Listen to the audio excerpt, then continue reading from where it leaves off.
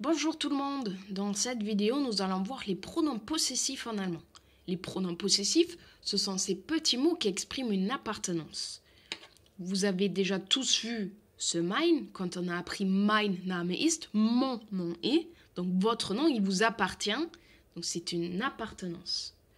Dans cette vidéo, nous allons regarder tout particulièrement la troisième personne du singulier pour savoir comment on va faire le choix entre sein et ir.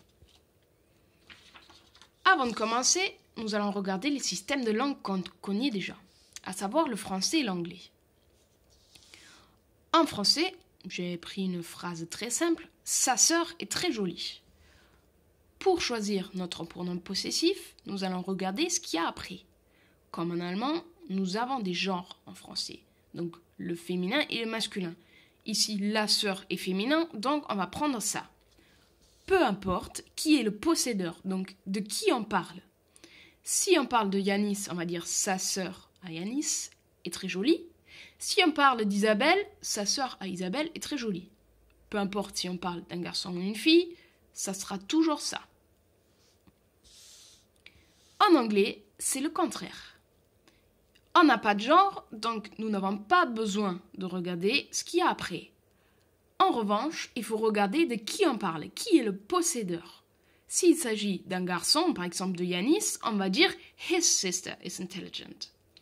S'il s'agit d'une fille, par exemple d'Isabelle, Her sister is intelligent. En allemand, nous allons combiner ces deux systèmes. Comme en anglais, tout d'abord, il faut choisir de qui on parle, donc qui est le possédeur. S'il est masculin ou neutre, mais le neutre, je le mets un peu entre parenthèses ici, ça sera toujours le sein. S'il est féminin, ça sera forcément ir. Une fois que ce choix est fait, on va regarder le mot qui suit, donc le mot qui a après le pronom possessif, pour savoir si oui ou non il faut mettre une déterminaison et si oui, laquelle. Donc, nous avons en plus le neutre, en plus euh, par rapport au français.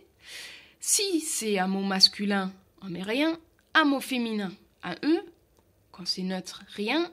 Et au pluriel, un E. On va voir un peu dans quelques exemples ce que ça donne. Alors, si on parle de Tim, Tim qui est masculin, donc forcément on prendra toujours sein. Si on parle de son frère, der Bruder, donc Bruder masculin, on va regarder dans notre tableau des déterminaisons. Masculin, on met rien. Donc sein avec rien, hein. sein Bruder ist 17. Son frère a 17 ans. Si on parle de l'âge de sa sœur maintenant, la sœur dit Schwester, féminin, donc on regarde, hop, ah, au féminin, il faut mettre un E. Seine Schwester ist 12. Sa sœur a 12 ans.